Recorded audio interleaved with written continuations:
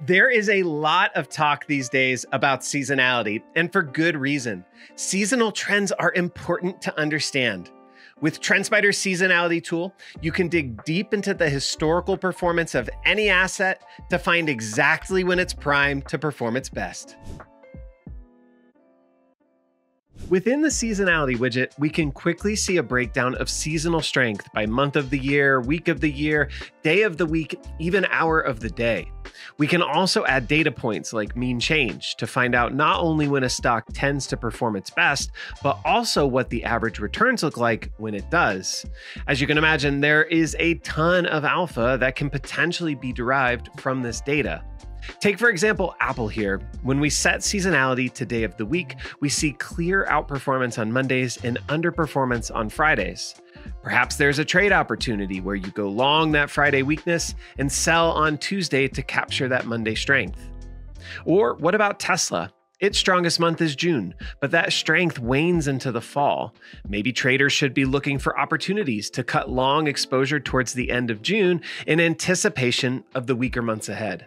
These are very basic ideas to consider, but you can go deeper with this analysis as well. For example, this year is an election year, and we all know that markets tend to act in unique ways during election years.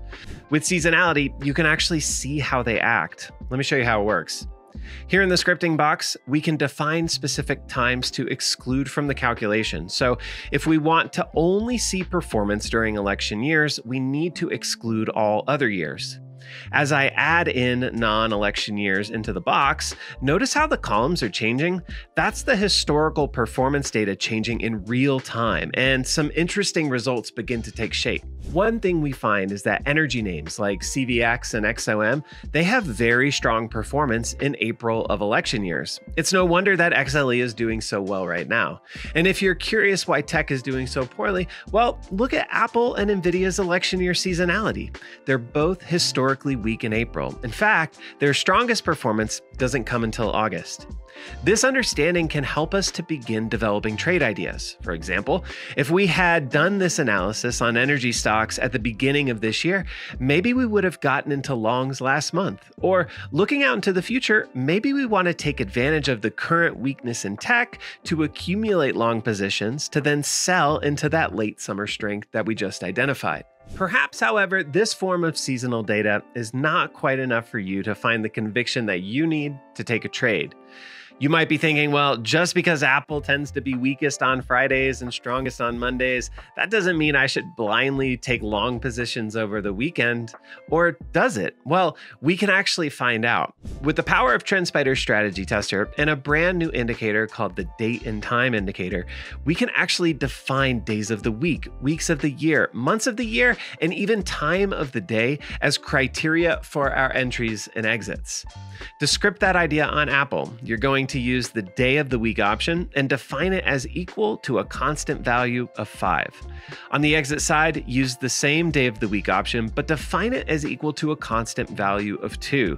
That means that we're getting in on the open on Friday and then out on Tuesday's open. Interestingly enough, over the past four years, this simple strategy has beaten buy and hold on Apple by 25%. That's pretty impressive. What about the idea for energy? Is there alpha in buying the weakness that we see early in the year and selling after April? Well, we can test that too. Using the month of the year option, on the entry side, we can input that the month of the year is equal to a constant value of one. That'll get you in on the February open. On the exit side, say that month of the year is equal to a constant value of four, which gets you out on May's open. In both cases, for CVX and XOM, the strategy actually does perform pretty well. You've got 70% win rates for both names with an average return of 4 to 6%. Finally, let's check out that idea for Apple and NVIDIA. Let's let this week April get behind us, buy the May Open, and sell the September Open. Again, the results, they're not so bad. A 58% win rate for Apple with an average return of nearly 9%, and a 64% win rate for Nvidia with an average return of over 16%. So, there you have it a deep dive into filtering seasonality and some actionable ways to employ what you learn in your favorite trading strategies. As always, we hope you find this video helpful. Happy trading, and we'll catch you next time.